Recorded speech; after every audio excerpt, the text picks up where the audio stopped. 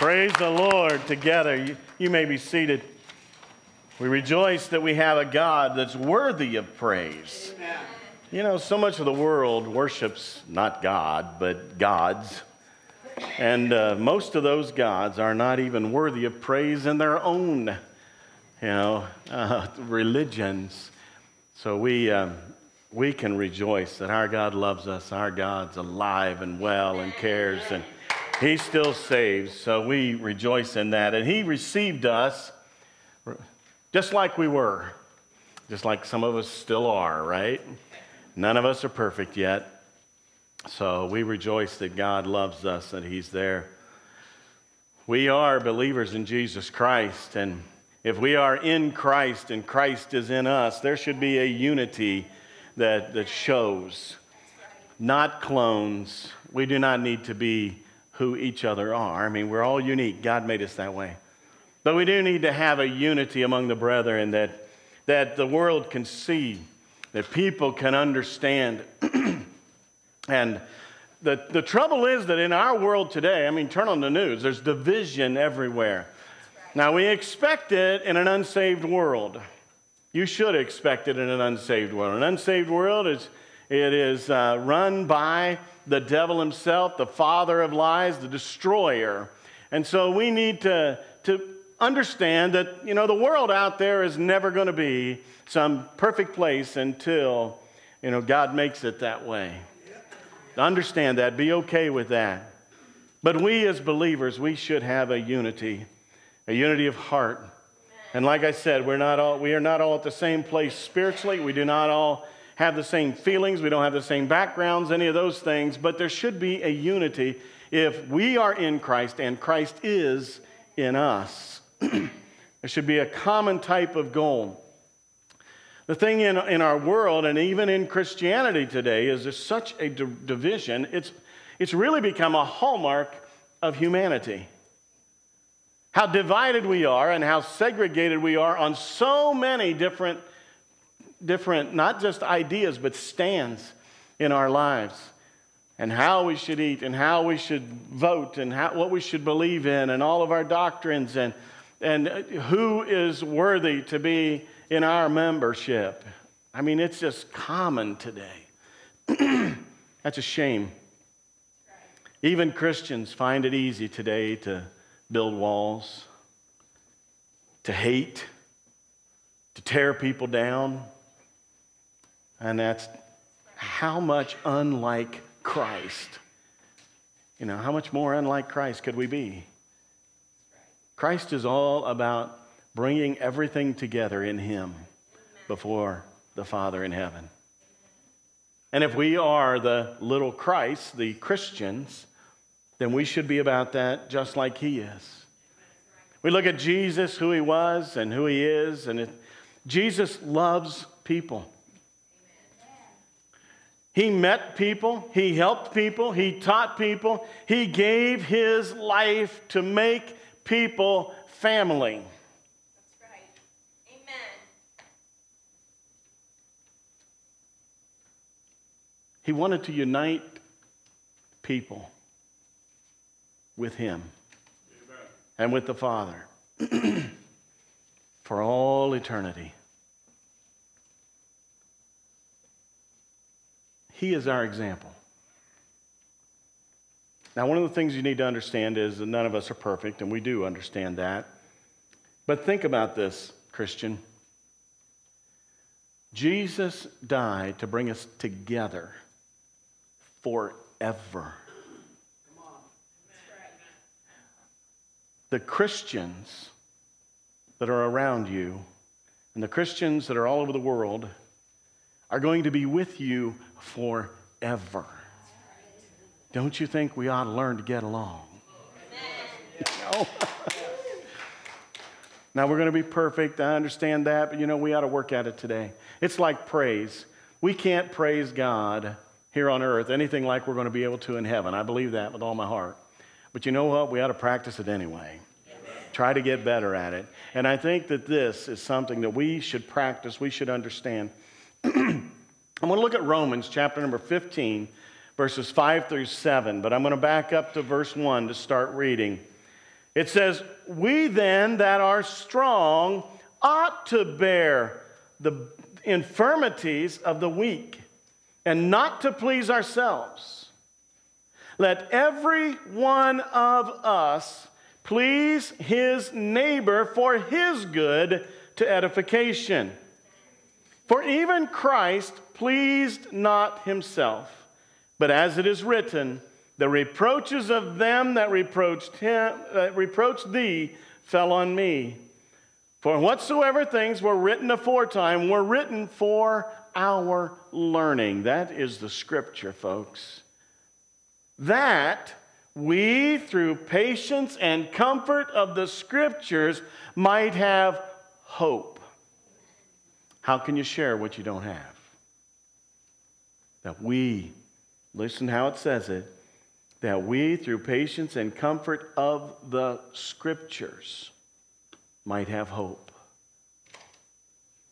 Verse 5 Now, the God of patience and consolation grant you to be like minded one toward another, according to Christ Jesus, that ye may with one mind and one mouth glorify God, even the Father of our Lord Jesus Christ.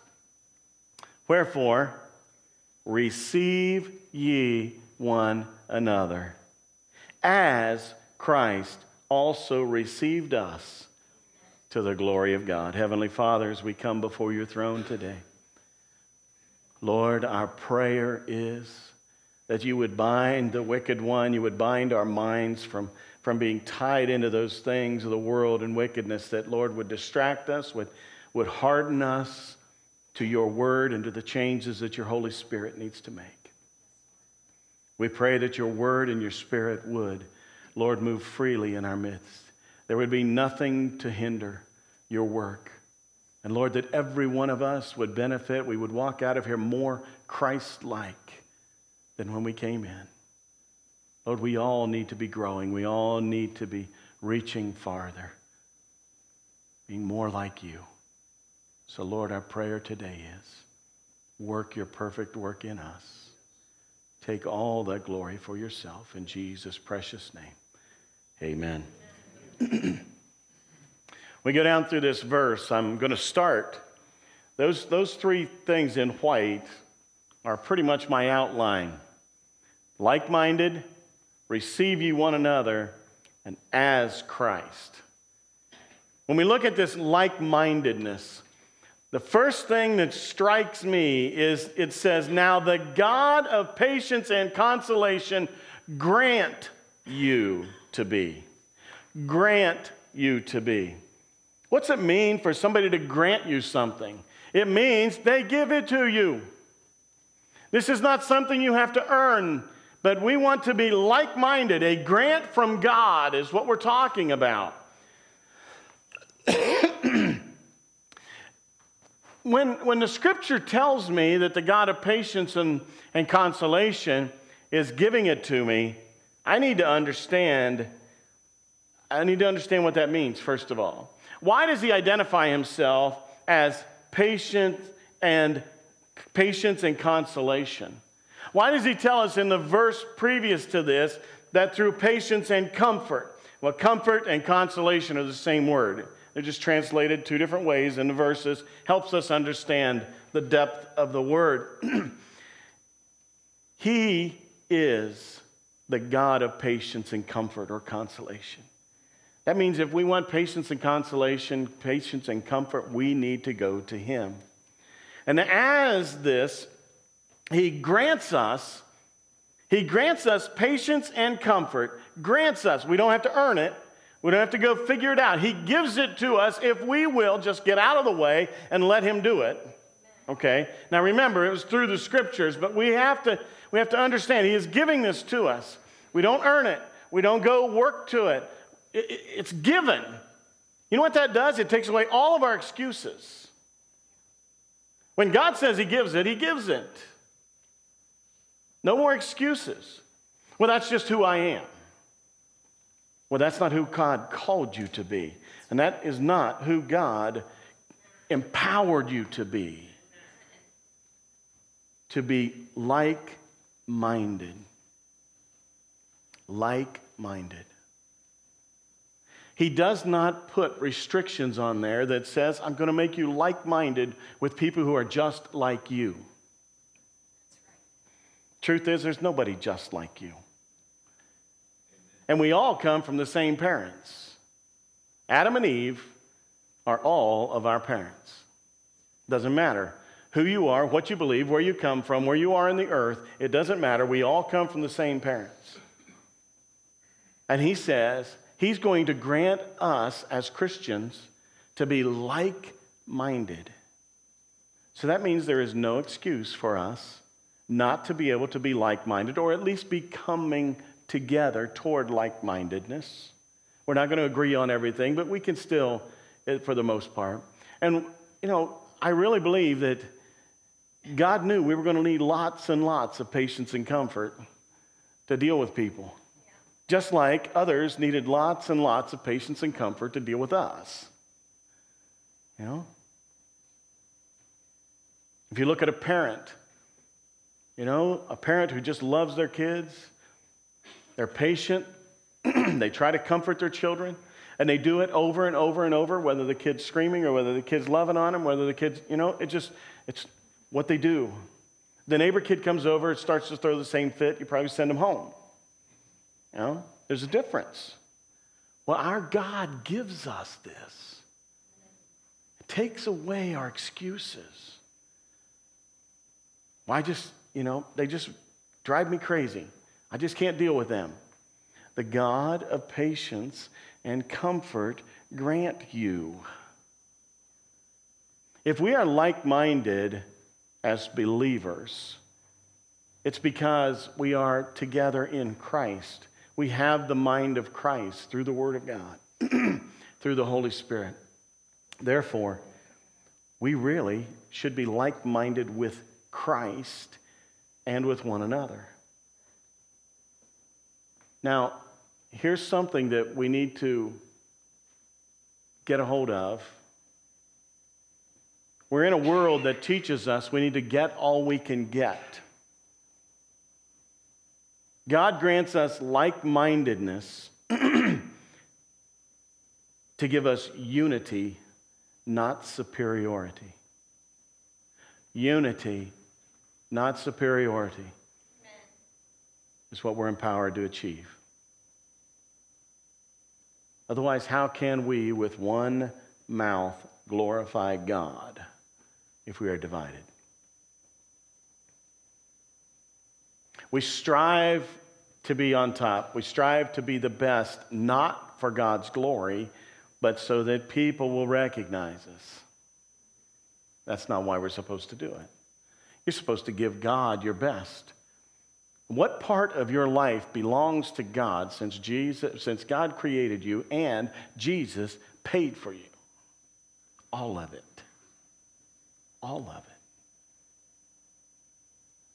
But we want to give God the Sunday morning part. We want to give God the part when we're sick and we really need Him to answer our prayers. But we want to take the work part, we want to take the pleasure part, we want to take the rest part. We want to keep that all for ourselves. And then we want to have a competition with everybody around us so that we can get the most, be the most, be the highest recognized, whatever it is. That's not what this is about. He gives us patience and consolation so we can be united, so we can have a like minded attitude, not divided. and what's he talking about here? He goes right into this receive ye one another. Receive one another. Come together, united on the same team, fighting together, not fighting against each other. You say, but there are things that we disagree on that are important things. And that's true. And there are some things that are critical. And we don't, you know, we don't need to falsify doctrine to come united together, okay? But there are things we can't agree on most of the time, and we do need to do that. You know, it says, there are so many issues today in our lives, and there are so many issues that we, even as Christians, are passionate about. We're passionate about this, we're passionate about that. You don't care about this, but it's a big deal for me. And I don't, okay, we, we're not all the same. We understand that. There's so many different issues, so many things going on. And then you have all this. Well, nobody understands what I've been through. Nobody understands what it feels like. Nobody understands what, what problems I bear and how difficult life is for me. And that may be true. But if you are a believer in Jesus Christ, you have no excuse because the God of patience and comfort grants you to be like minded. So he says, we need to receive one another. You know, no one seems to care. Why won't anybody listen? We hear that all the time. There are major divisions in our society today. We will not be able to fix the divisions in our society with politics, with laws. It never works. You cannot legislate the love of God, you cannot legislate righteousness. God proved that to us in the Old Testament with the law. You know, a people dedicated to the keeping of the law couldn't do it, let alone people who didn't care about it. So, what do we do? You know, one of the things that when we look at things, sometimes we, we oversimplify too. Big problems in our society, the racial divide and things like that the divide over some of our, of our political situations now with, with immigration and with, with First and Second Amendment rights and the, you know, the freedom to, to come together and worship even is under great fire today. National newspaper was rejected an advertisement because it said the word Christian in it. We have these huge divides. And many times people are offended because we say, well, there is a simple fix for this. There, it's not going to be easy, it's simple. There's a big difference. Okay? That simple fix is become like Christ, grow toward Christ. He'll fix many of these things in our lives. We can't legislate it. We can't ever expect the unbelieving to have the same kind of mind, the same kind of heart, the same kind of desires that we should have as believers. He's not telling us to be like the world. He's telling us to love one another, be united as believers, and receive people in. Receive people in. He uses this word in verse number three edification. Let every one of us please his neighbor for his good to edification. That is the last thing in the world you wanted to hear from God, isn't it? That it is your job to please your neighbor in such a way that they will be built up. That's not what you want, is it? I want to be who I want. I want the freedom to be me. I want the freedom to say what I want to say. I want the freedom to think what I want to think, do what I want to do. They can do whatever they want to do as long as it doesn't interfere with me being who I am. Christian, I'm afraid to tell you this, but that's not what God said. He said, Don't treat your neighbor that way. You need to be working to build your neighbor up, not drive them away, not put them down. We are to be builders. Christians, we are to be builders. We are to be constructing things, not destroying things. We are to be constructing people, building them up in the Lord, not tearing people down. And there are certain things in our lives and in our methods that do just the opposite. They tear people down. Gossip, oh, so destructive. Gossip is always destructive, tears away at people's hearts tears away at who they are, tears them down in front of other people. That is no place in the Christian's life for this gossip that is hurtful. Do we need to pray for one another? Do we need to do? Yes. But make sure your prayer requests aren't gossip. Make sure they are genuine. This person has a need. Let's help them with that need. Do we need to put all the details in there? No. We just need to let people know to pray because this person has a need. It's important for us to understand this. He's telling us to receive each other. He's telling us to bring each other in.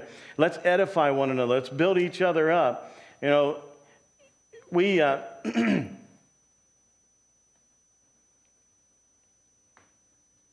we can begin this process in our own life. You cannot make this happen in somebody else's life.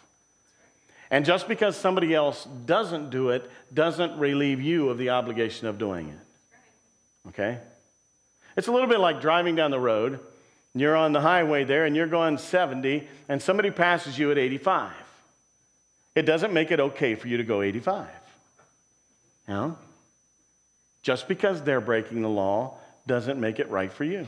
Well, just because somebody else that calls himself a Christian doesn't act like God is telling us to act does not give us any right to not be who God called us to be and who God has empowered us to be. We will stand before the Lord in judgment. And the scripture tells us that we will be judged in part, okay, for every idle word. What's an idle word? Those are the ones that we consider insignificant in life. He's going to judge us all the way down to every word we ever said. He teaches us he's going to judge us on the attitude that we had when we said it. Why does he want us to be like minded? Why does he want us to receive one another? Because our job here is to bring people to Christ. He says,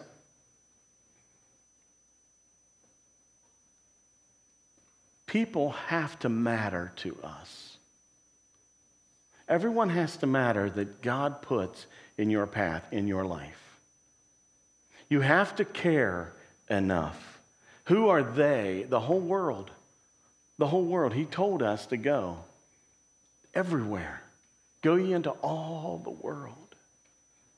Now, you're not going to be all over the world, but the people that you can touch with your life, with your attitude, with your words, with your hands, then you need to be particularly patient and comforting with. This is not, this does not mean you're adopting their attitudes. It does not mean that you're adopting their religion or their culture or their language or their skin color or anything else. Just because you're receiving someone doesn't mean you approve of everything in their life. It doesn't mean you have to be like them. But you are called to do that. We're definitely not called to look down on people. You know, one of the things the scripture says here in, in um, Romans chapter 14 and verse 3, it says, Let not him that eateth despise him that eateth not, and let not him that eateth judge him, or that eateth not judge him that eateth, for God hath received him. you know what this is telling us? It's telling us we are not all going to agree on everything. And just because you think that's taboo and somebody else doesn't, but they're a believer in Jesus Christ, don't look down on them for doing it. And vice versa. Well, you are evil because you have this rule in your life, and I don't think I have that rule in my life. Okay? You don't even have to agree with it. But you need to have a mindset of patience and comfort and an open mind with the Word so that God can fix you just like you want Him to fix them. It's really important to understand that. We are not to judge another believer for what they do or don't believe. We are to be edifiers. We are to build them up. And how do we do that? In the Word in the Word. You, they, when we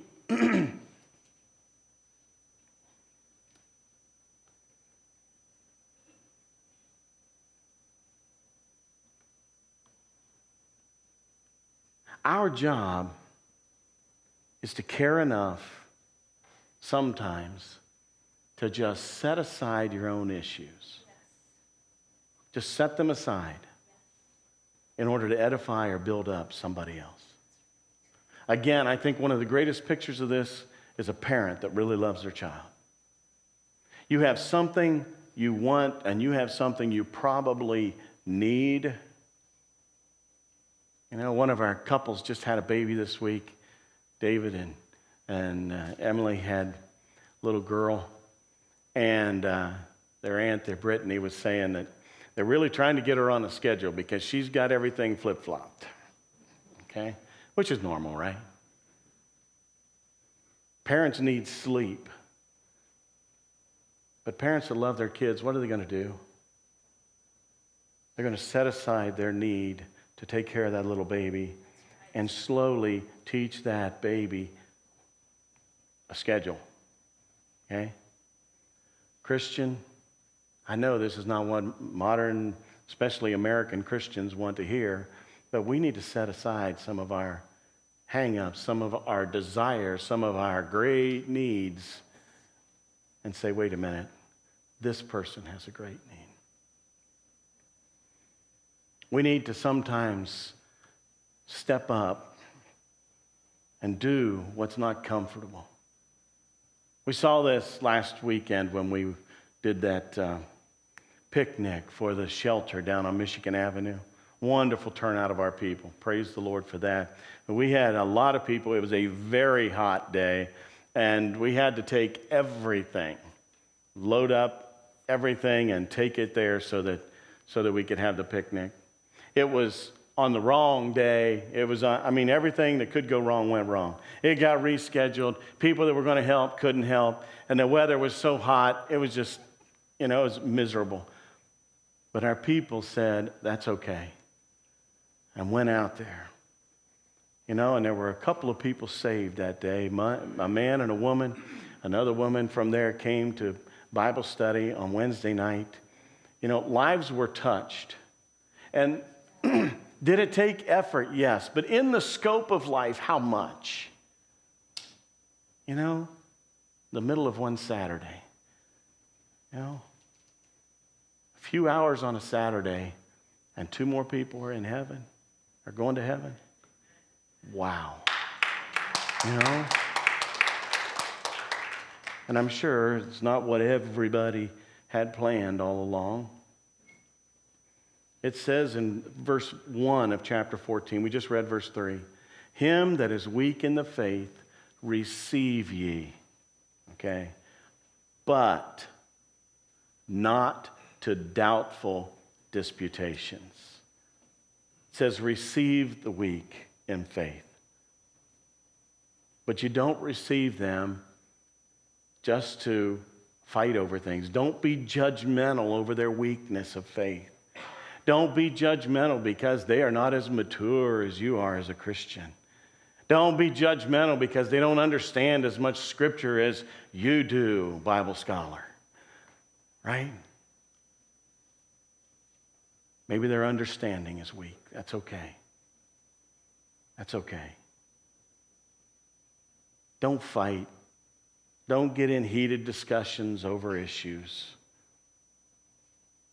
How do we do this? You know, doctrine's important. You know me, doctrine's important. We need to teach right doctrine, we need to be about right doctrine, but we need to do it in a way that builds people up not drives people away, not tears people down, not destroys people.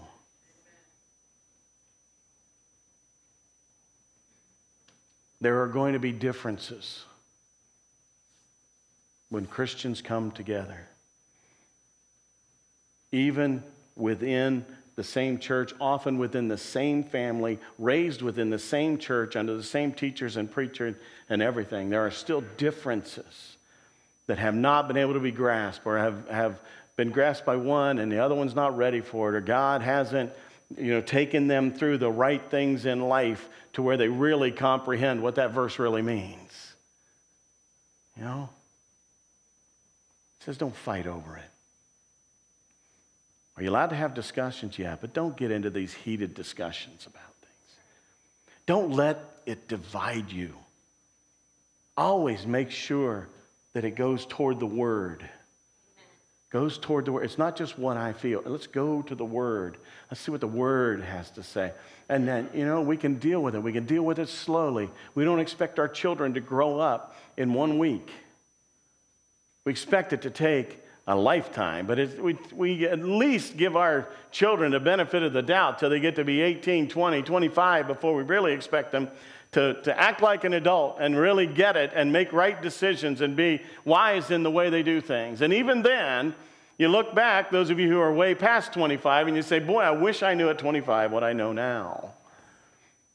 Because all of life, we're growing, we're changing, we're maturing, we're understanding more. We have suffered more, we have enjoyed more, we have seen more. We now understand from many more perspectives than we ever did when we were young. He says, understand that. The God of patience and comfort gives you the power to be like minded. You don't have to be a bully about it. You don't have to be, you know, this dictator in your relationship. The, the Holy Spirit says, Remember how Christ received you? Remember how Christ received you? That's the third thing there. As Christ received you. As Christ. Okay, he's saying, look, I'm empowering you to be like minded so that you can receive one another. Now, I'm going to tell you what kind of level of receiving people, how to receive people, what to expect in receiving people. I'm going to, I'm going to give you a comparative standard to hold up there and say, this is the way you do it, and this is what I'm expecting of you. He says, do what I did.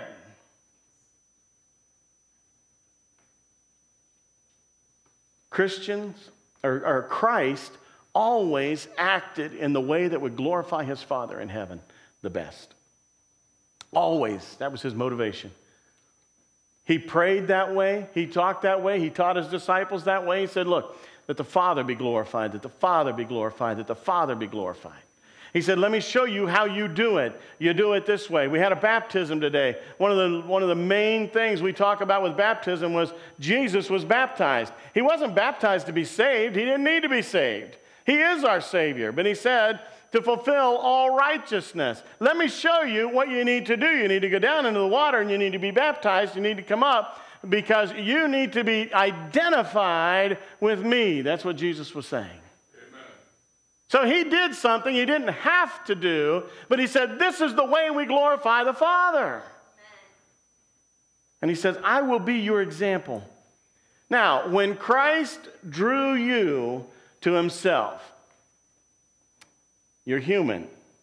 So I know this is true of you. When Christ drew you to himself, you were a filthy, rebellious, unbelieving sinner on the road to self destruction.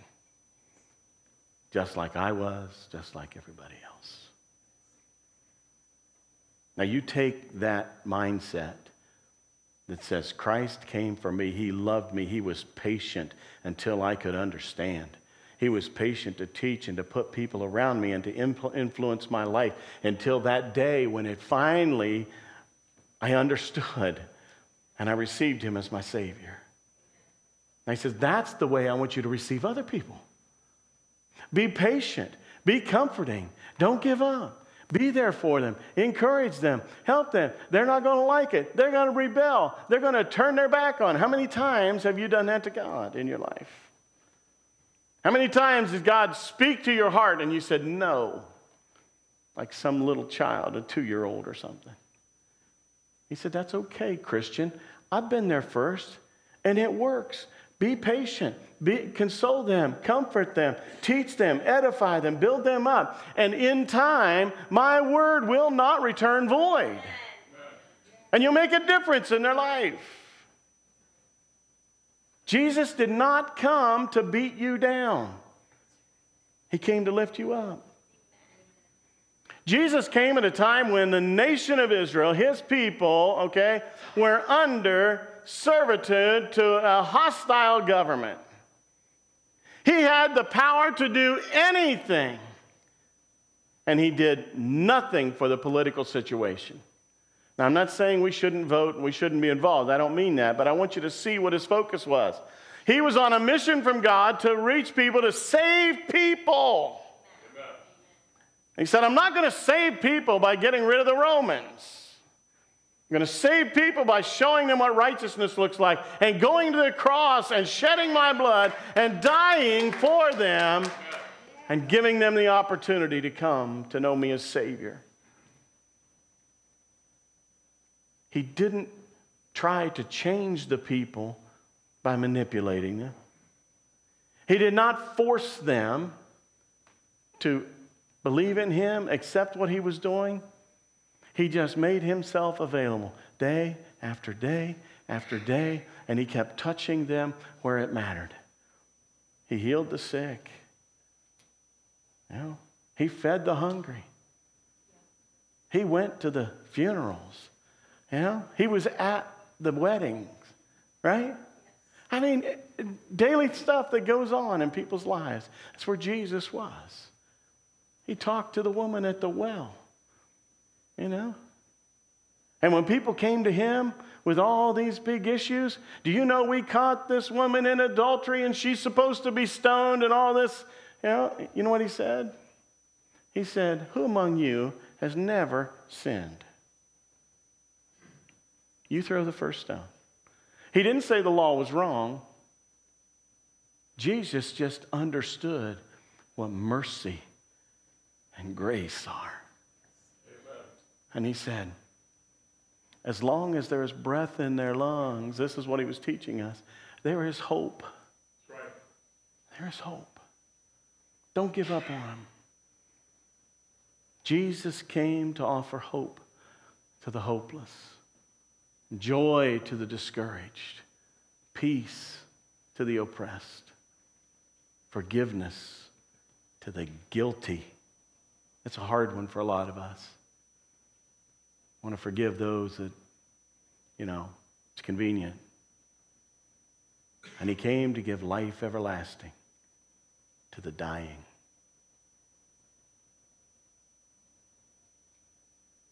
Christian, it is not your job to fix everyone or fix every problem. It's not your job.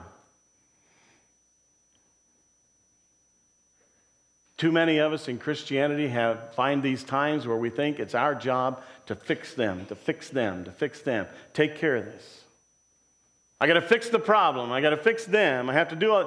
God does not say that's our job. Instead, he says, It is your job to care and lead others toward the glory of God. You need to care about people enough to lead them toward God. Now, the Bible says people can't find God by themselves. That's why He left us here. That's why He put His Holy Spirit within us. So he says, I grant you to be like minded so that you can receive other people with patience and comfort, just like Christ did you. You were an unbeliever. That means everything about what you believed was contrary to God. So when you deal with somebody, even a young Christian, Somebody gets saved, you know, they don't know. You know what's in their mind? However many years they've been alive, whatever they've been taught. If they've come out of horrible situations and abuse and all those things, you know, that's, that's all they know. If they've come out of bigotry and those kind of things, if they've come out of gang mentality, if they've come out of whatever it is they've been taught their whole life, that's what they know. You can't expect them to change right away. You have to edify them. You have to build them up. You have to teach them what the Word of God says and let the Holy Spirit empower them to change. Now, do we approve of their behavior? Not necessarily. And we encourage a different behavior, but we can't change them. We can't change their thoughts. But the Word of God and the Holy Spirit can. But we have to be patient enough to let that happen. How long did it take you to reach the maturity level you have in Christ today? Whatever that is. And I would guess that almost every believer thinks they're much more mature than they really are, no matter what level we're at. okay? But how long did it take even to get where you are? You know? And we want to be impatient with somebody else because they don't think like we do, they don't see the world like we do. It says, come together with a like mindedness. And that like mindedness is, I'm going to glorify God and I'm going to care about people. Verse number one of our text today, 15, it says, We then that are strong ought to bear the infirmities of the weak and not to please ourselves. That word infirmities here, okay, it means, I think I put it up there for you, didn't I? Yes. The mental reservations to faith and truth. Now, look at what that verse says. We then that are strong ought to, it's our responsibility to bear their mental reservations in faith to faith and truth. Well, what's that mean to me? I need to help carry them through this time. Not demand change, but I need to help them carry it so that God can change it and they can stay close enough to God long enough to grow up in Christ Jesus. If I'm to bear that burden, and that burden is they've got mental blocks when it comes to faith and truth. Maybe they grew up and they never had anyone in their life they could trust. You know how long it's going to take them, maybe, to really trust God? It could be a lifetime. Some of you have never had to live in a situation where you couldn't trust anybody in your life. Jackie and I took care of a couple of kids for a better part of a year, I think it was. Those little kids had been tossed about and abused every way you can imagine, and some you probably can't. They had trust issues. I wonder why. Their mother, their father, their maternal and paternal grandparents had all abused them in some pretty sick ways. Abandoned them, tied them to fence posts. I, am I'm telling you, it was, it was horrible as, as it began to be revealed from them, what all they went through. And so when they had these times of wild acting out, I mean, one trying to drown the other, okay, in a pool. And we, you know, you stop it, you help with that, but when you figure out what's going on, which we had not been told, but when you figure out what's going on, you say, you know, I understand how it could happen. And you, you want to get angry at them, but you say, look, every single person in their life that was supposed to love them and take care of them abused them and abandoned them. You know, I hope few of you in here can truly relate to that. We couldn't. Jackie and I grew up in homes that that wasn't the case. You know? But God can give you the patience, and He can give you that hope with which you can comfort someone, even if you can't feel what they're feeling, understand what they're thinking, and what's driving them.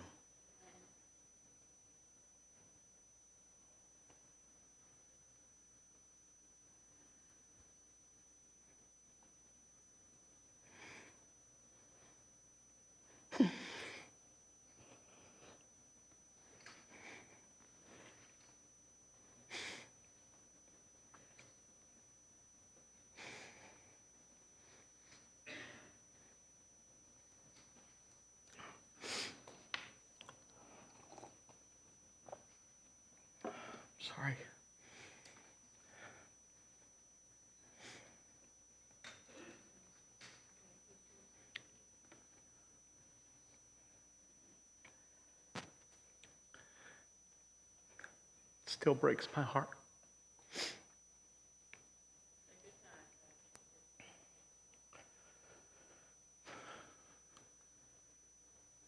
The little girl came to know the Lord. I believe that with all my heart. We saw the difference. She wasn't fixed, but we saw the difference when it came to the demonic possession and control in her life. We saw the difference many parts of her life.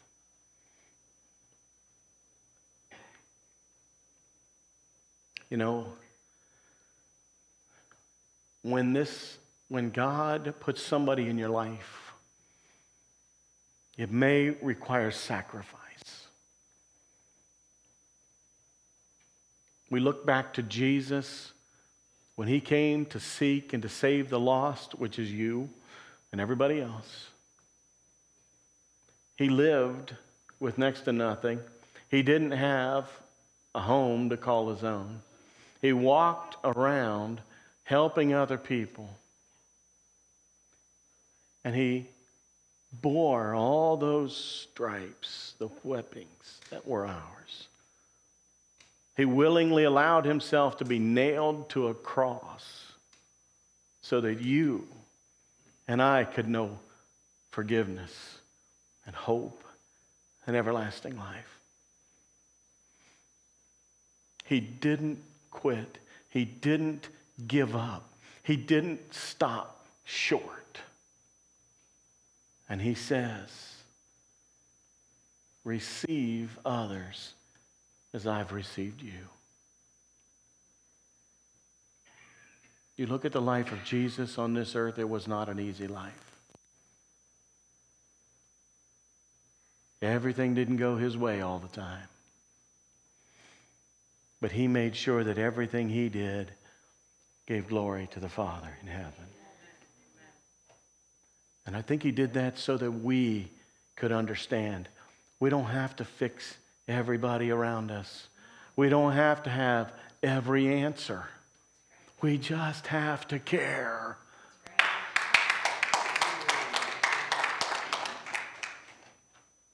Verse 3 For even Christ pleased not himself. But as it is written, the reproaches of them that reproach thee fell on me. For whatsoever things were written aforetime were written for our learning, that we, through patience and comfort of the Scriptures, might have hope. Hope. And I really believe that when he tells us we need scripture, that we need scripture. We need to be studying the word for ourselves. We need to be studying it with others. We need to be under the preaching and teaching of the word wherever we can be. But he says, I want you to do this so that you can have hope. Because hope makes all the difference in the world. It really does. It makes all the difference in the world for somebody out there that's hopeless and think God doesn't love them. And it makes all the difference in the world for a Christian to have hope that what God is doing through us into somebody else's life is worth it and it won't be wasted effort.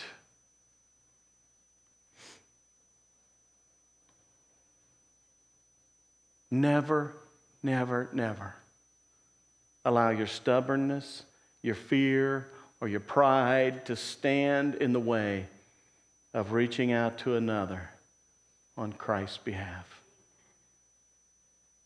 I honestly believe that when we stand before God in heaven, probably the worst thing that we can have on our record is when God says, I put you there and I impressed upon you that you were supposed to reach out to this person and make a difference, and you didn't. And now they're headed to a fiery hell.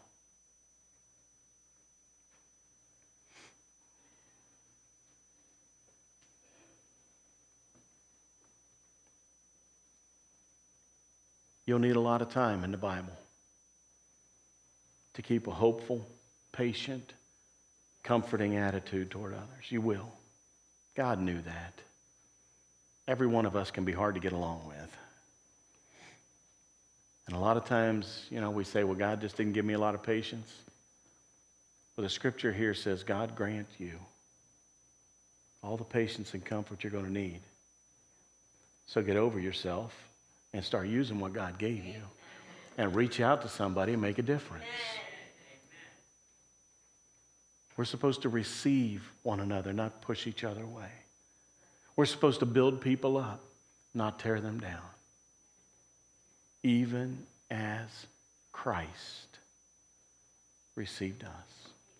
Heavenly Father, as we come before you today, we pray, Lord, that you would do your transforming work in our lives. Break our hearts for the things that break your heart. Break our hearts for the people, Lord, that you have put in our path. Break our hearts, Lord, for the work that you've set before us. Fill us with a hope that'll keep us from quitting. Fill us with a hope, Lord, that will motivate us to go farther, to love more, to sacrifice more, whatever it takes. We have the promise of heaven. We have the promise of the riches of heaven, the grace that heaven has. Lord, let us see that with a hope. And let us desire, Lord, to touch every possible life around us. To do it without arrogance, to do it without any bigotry or, or looking down upon anybody, to do it without the fear of what might be, but Lord, in the hope in the hope of what your love can do, what your sacrifice can do. Lord, do your work in us today.